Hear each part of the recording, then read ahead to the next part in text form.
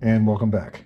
This is probably going to be a bit, shorter video than normal, but I kind of wanted to get this posted in reference to a comment I made on one of Reignited's uh, videos uh, in reference to his video about a theory on one way to avoid um, the lifter failure issue, which is only seen on some, and I stress some, Hemi motors with MDS that suffer high amounts of idle time.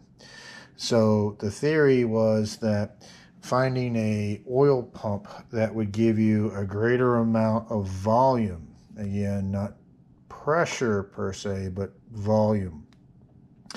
And in his research, uh, he, he, saw that a Hellcat oil pump uh, does have a slightly different vane setup on the inside of the pump, aka should result in a, uh, more volume of the pump. So since we happen to be, as timing would have it, in the middle of doing our 6.4 upgrade, I ordered a Hellcat oil pump for a 2019 uh, model because that is the model Hellcat that I also own and I wanted to show you the differences here.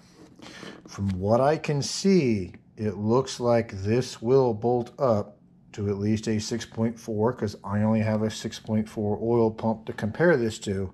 I don't have a 5.7, but I would assume, and that's an assumption, I would assume that it's probably going to be the same pump, just a you know different vane as far as setup on the internal. But this was the pump that I ordered. Here is the part number here, 681-95993AD. Again, 681-95993AD. And I ordered this again for a 2019 Hellcat.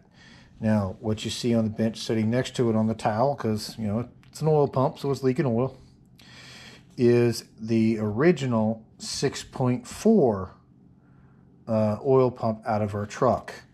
And as you can see, the mounting points on both sides, the oil orifices, the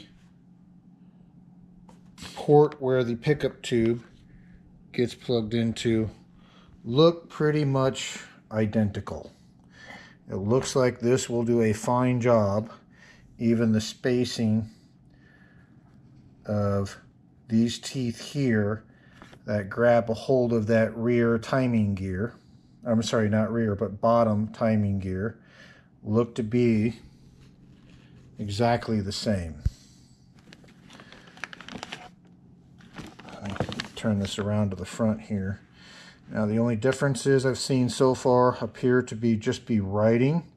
You can see that even the divots and the creases uh, and the lines, all of this, you know, appear to be identical.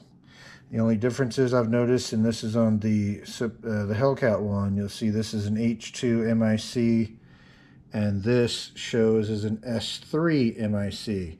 I don't know what the S3 versus the H2 what that difference designates. I'm sure it's got to be, maybe it's just when it was made, but I'm sure it's probably, I would assume, again, I'm assuming this is some designation with some characteristic of the pump.